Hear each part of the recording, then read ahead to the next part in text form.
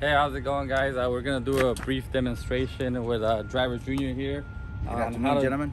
This is generally what a driver looks at, and then we're using this as a general reference. But for you guys, since you won't be on the road, the most Mm-hmm. important thing is doing a visual inspection, making sure there's no major oil leaks in the ground. You know, no diesel leaks, no no uh, DEF leaks. You want to pop open the hood, and you want to actually check your coolant level. You want to check your oil level, a dipstick, and and if that looks good, uh, you know, you, you can also check your lights if you guys choose to, you know, turn your lights on, make sure they're all in working condition. at this point, you know, it, you can do a quick walk around, truck and trailer, same thing. Yeah, This- let's do a quick walk around. You know, just make sure. You know, look, you got, you want to look for flat tires. Uh, so, you, know, you could do a, a quick kick, uh, inspection on, on the tires, make sure they're all inflated, you know, not flat. Um, you know, you can also listen for air leaks. If you listen in any major air leaks, you'll be able to hear them. Uh, this one seems pretty good Always here. check your hydraulic levels. Yeah. Make sure you guys always check your hydraulic levels. Make sure that they're uh, full, so that way you're. There you go. Yep. Make sure your your levels are good, so your trailer works to function properly. You want to make sure these airlines aren't leaking and connected properly as well. Okay. Then we can head over to the back side. Same thing as you walk, listen to any air leaks you may. Same thing back here, you know, just do a quick check on tires. Make sure they're inflated and no nails on them.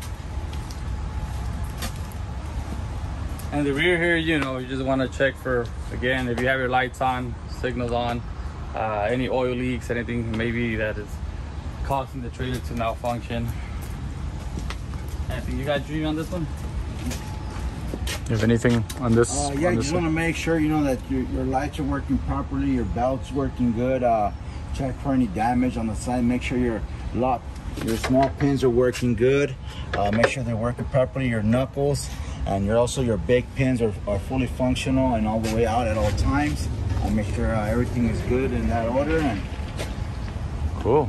Uh, at this point, you know, we're just gonna go over, uh, have Junior take over on how to turn on the truck, how to uh, activate the PTO, and then how to work the pro trailer. We're gonna go ahead and get this uh, truck started and, and, and kind of go through the whole startup phase of the truck, you know, letting it go through the full cycle. When you turn the half key on, after it does the cycle, then you go ahead and turn the vehicle on. Uh, and then what you want to do after that is let the air pressure build up on the primary and secondary tank as Junior's gonna demonstrate right now. Okay, guys, so let's get started. Always when you're entering the truck, remember you guys always want to do safety first. Always use three points of contact, always. When entering and exiting the vehicle. So now we're just gonna get up here and uh, turn the key switch on. Before you start the truck, you want to actually let the gauges cycle, your primary and your secondary. Let it cycle first before turning the switch fully on. Um, okay. Once it's fully cycled, so that way it can get to uh, the proper uh, 120 psi, you can go ahead and turn the switch fully on. So where is that right there? Where's the 120 psi? Right here. Okay, cool. see. So once you build up air all the way, Uh-huh. basically turn the truck on, and then we're gonna go to the cycles right now. Um, so we're gonna go ahead and uh, activate the PTO now. Okay. Activate the PTO's PTO. on this side. It has a switch here, a lever, engaging in, and you have to put the lever down to engage it. Once it's engaged, you can start to work your belts, control, and your uh, levers in the back of the trailer. The dog trailer. Okay, so let's get started in the back. So we have the PTO activated now. So first thing we're gonna do is we're gonna um,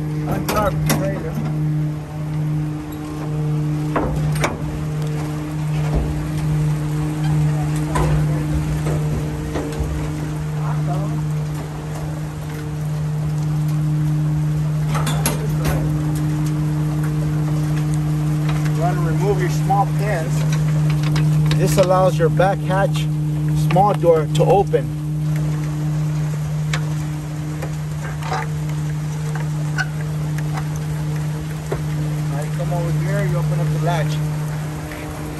Now here you have a total of five controls. Your first your first control is for the for the small door, small hatch door. Your third control is for your big lock pins, which are these ones right here. The, the third button one is for your is for the small teeth knuckles right here. These knuckle pins. And then fifth you have your belt control and then your big door hatch opener right here. Okay, so we're gonna go ahead and open up, first of all, the little small door here, which allows you to correctly open up the big hatch door. Got number two. Number two is your big lock pins. Then you wanna open these up. Then you wanna walk around and make sure that they fully opened up because if you, sometimes this one gets a little bit stuck, you wanna make sure they're fully open. Once you've checked them and see that they're both fully open, then you can proceed to open up your small knuckles. You want to check those as well. As soon as you open, you come back over here and make sure they're both open. Once you see that they're both open, you can engage and open up now the, the big door safely, your back latch door.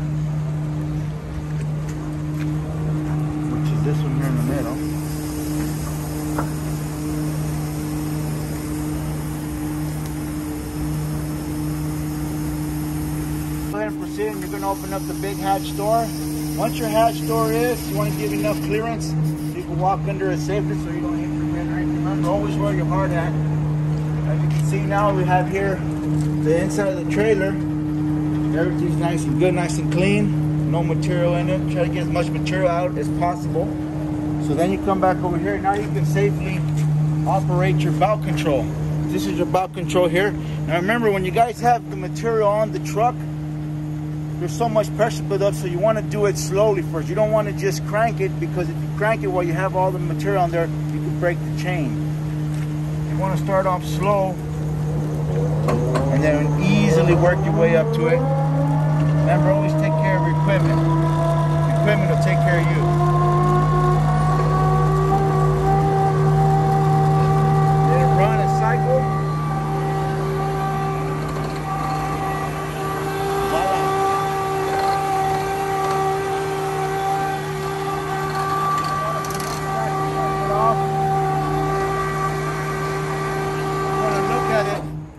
Exactly where you're going to stop it at.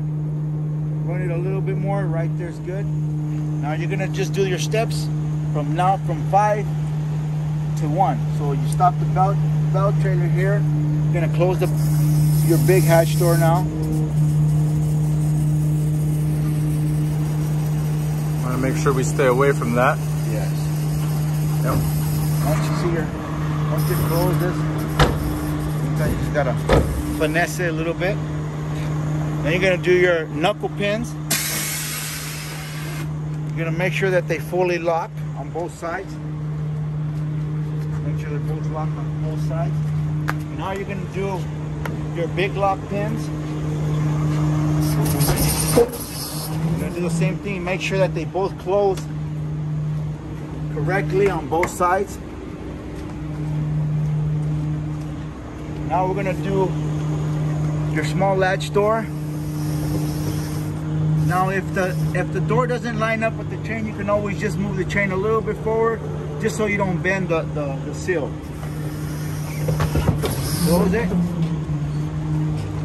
Then you proceed. Put your small lock pins.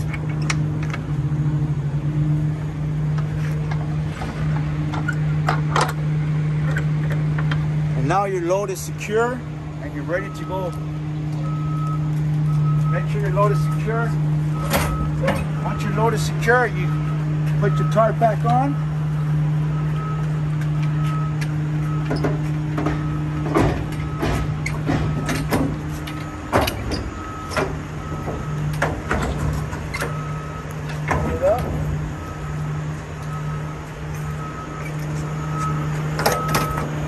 Easy peasy. Now your load is complete. You're ready to go deliver. Good, baby.